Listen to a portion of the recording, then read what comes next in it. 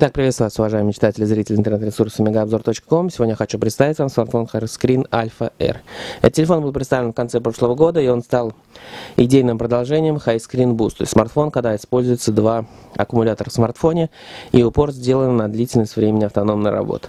Вообще, длительность времени автономной работы и необходимость зарядки в конце рабочего дня является критичной для смартфонов на базе Android, к сожалению. То есть никаких подвижек в этом плане нет на текущий момент. И то есть не всем, не все этим довольны. То есть, например, если дома вы есть возможность подзарядить смартфон, но в дороге, к сожалению, такой возможности у нас нет. И именно здесь приходят у нас в помощь или пауэрбанки, или подобные смартфоны с двумя аккумуляторами. То есть, когда можно заменить оперативный аккумулятор, или, например, установить аккумулятор с большей мощностью, когда вам требуется больше время автономной работы. Представляет смартфон в такой вот упаковочке, стоит он на текущий момент 9900 рублей, примерно подешевел на 3000 рублей за 3-4 месяца с момента старта продаж. Стоимость сейчас адекватна и вполне интересна. На гранях упаковки размещен силуэт смартфона с основными данными по характеристикам. На обратной стороне название модели и, собственно, все, что есть на этой упаковке. В комплекте у нас есть наушники, есть, естественно, USB, microUSB кабель, есть у нас защитная пленка на экран, есть техническая характеристика и гарантийный талон, талон от компании Wobis, есть сетевой адаптер с USB-портом и есть аккумулятор. Вот этот аккумулятор у нас основной, он идет на телефоне по умолчанию, это 2000 мАч. К нему идет крышечка отдельно. И сейчас на телефон установлен аккумулятор побольше, на 4000 мАч, и вторая крышечка, она потолще. То есть мы взяли максимальный аккумулятор, чтобы посмотреть, на что способен этот телефон при полной сборке и полной комплектации. Что можно сказать по габаритам? С одним аккумулятором на 2000 мАч смартфон будет у нас 73 на 143,9 мм, то есть относительно тоненький. С аккумулятором на 4000 мАч толщина подрастает до 13 мм, то есть примерно на 50% смартфон становится толще. Мне кажется, это не так критично. То есть, если мы куда-то едем отдыхать, берем самую более полненькую крышку. По массе на 2000 мАч у нас 156 грамм и на 4000 мАч 204 грамма весит у нас смартфон. То есть, как я говорил, это 2000 и 4000 мАч. Что по начинке? Установлен процессор MediaTek 6589T.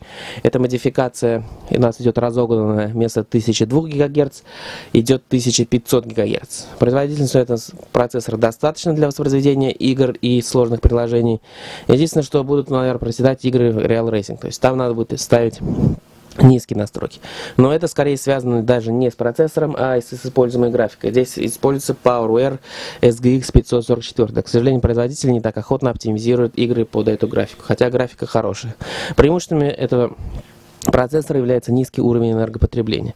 То есть мы здесь берем, во-первых, аккумулятор большой емкости, во-вторых, у нас есть процессор с низким уровнем энергопотребления и получаем длительное время автономной работы. То есть хватает смартфона на два дня средней эксплуатации. То есть фактически в два раза дольше, чем на обычный смартфон.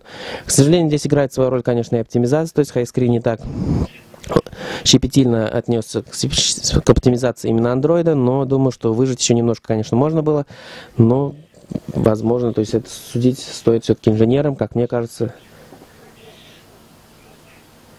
У конкурентов ситуация не лучше. То есть здесь установлен чисто Android с минимумом вмешательств стороны производителя и используется IPS дисплей на 5 дюймов. То есть все как у флагманов. Разрешение Full HD, отличные углы обзора, хорошая цветопередача, хороший уровень максимальной яркости, картинка сочная, никаких артефактов и пикселизации, естественно, PaintTile не наблюдается.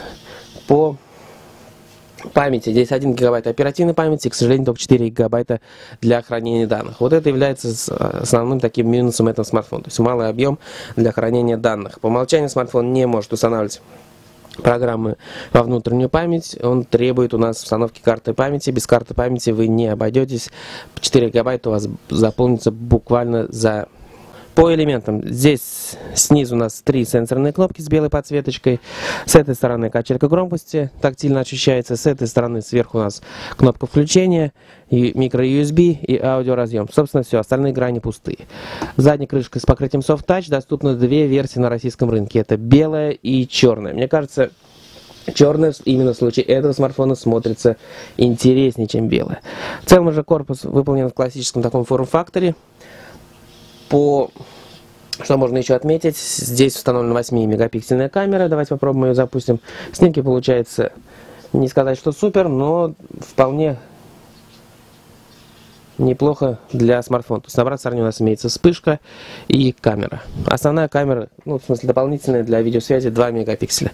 Селфи вы тоже сделать сможете. Давайте посмотрим на результаты синтетических тестов. В тесте с аккумулятором на 2000 почему-то нас выдала ошибку.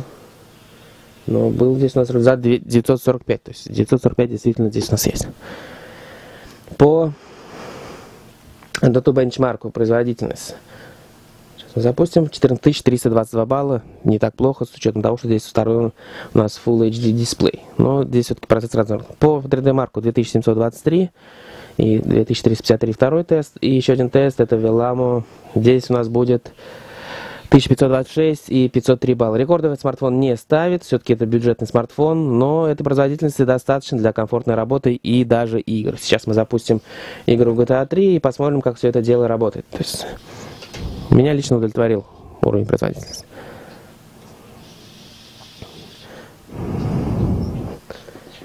То есть в обычные дни можно установить аккумулятор на 2000 мАч, мы получаем тоненький смартфон на 9 мм.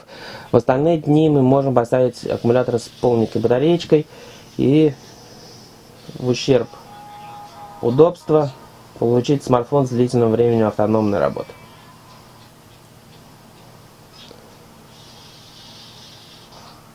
Все работает плавно, лагов и зависаний у нас нет.